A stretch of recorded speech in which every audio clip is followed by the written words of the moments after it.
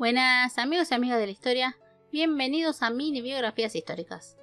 En este video les voy a hablar de una noble italiana del Renacimiento, muy hermosa, inteligente, cuya belleza hizo que el sultán otomano Suleimán el Magnífico la quisiera en su harem.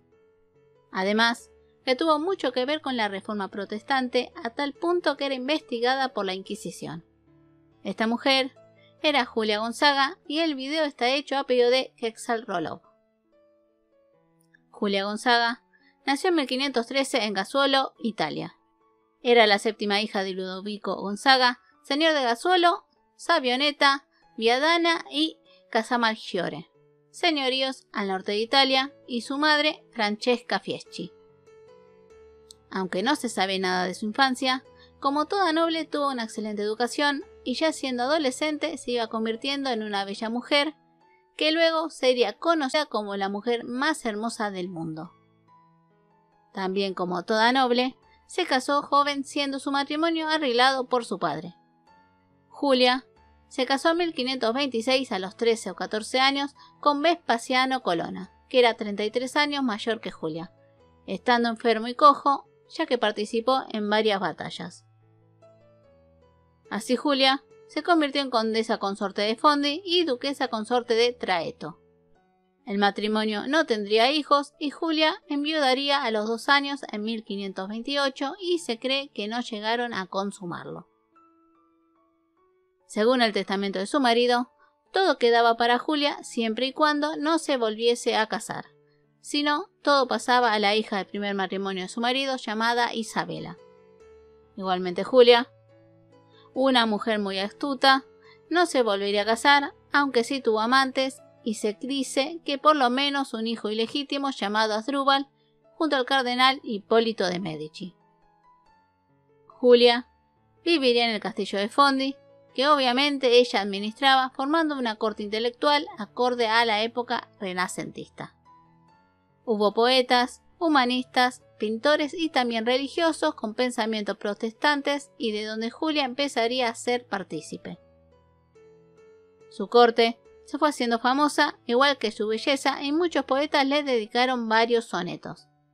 Pero por lo que es conocida, es por lo sucedido en la noche del 8 al 9 de agosto de 1534, cuando la ciudad de Fondi fue atacada por el corsario Barbarroja, que trabajaba para el Imperio Otomano.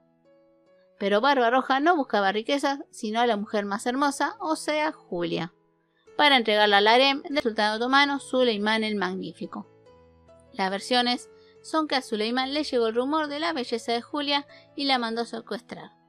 Otra versión es que ese rumor fue alentado por su gran visir Ibrahim Payá para tratar de sacarse de encima a la esposa legal del sultán, llamada Hurrem, con quien no se llevaba nada bien. La última versión que fue también alentado por la familia Colonna, o sea, del marido de Julia, así podían obtener lo que ella heredó.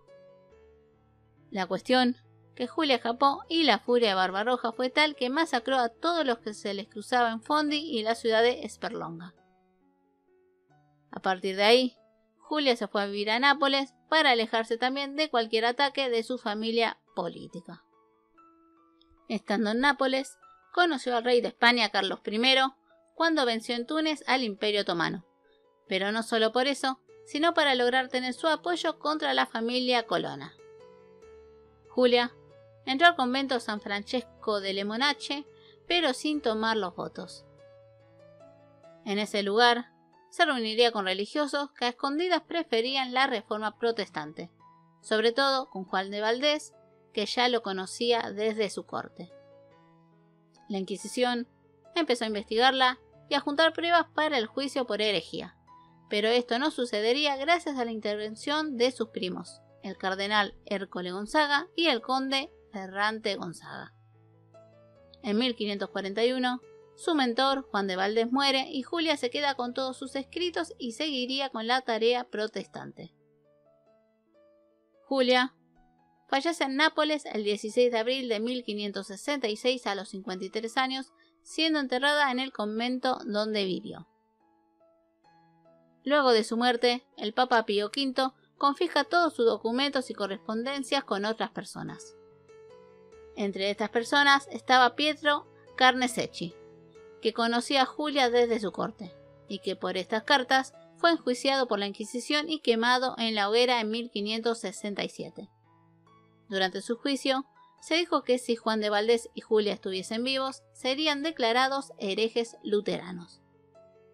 En la novela El Sultán, o El Sultán Suleimán, Ibrahim Payá nombra a Julia cuando piensa en el secuestro. Julia, una mujer poco conocida o conocida por lo sucedido con Barbarroja, fue una mujer que mucho más que su belleza, fue muy inteligente al buscar apoyo tanto para no perder lo heredado como para esquivar a la Inquisición. Yo en lo personal no conocía su vida y la verdad que me gustó saber de ella. Espero que ustedes también y como siempre no se olviden su like y de compartir el video, de suscribirse y activar la campana y cualquier biografía solo me escriben. Les mando un muy fuerte abrazo y nos vemos en el próximo video. Besos.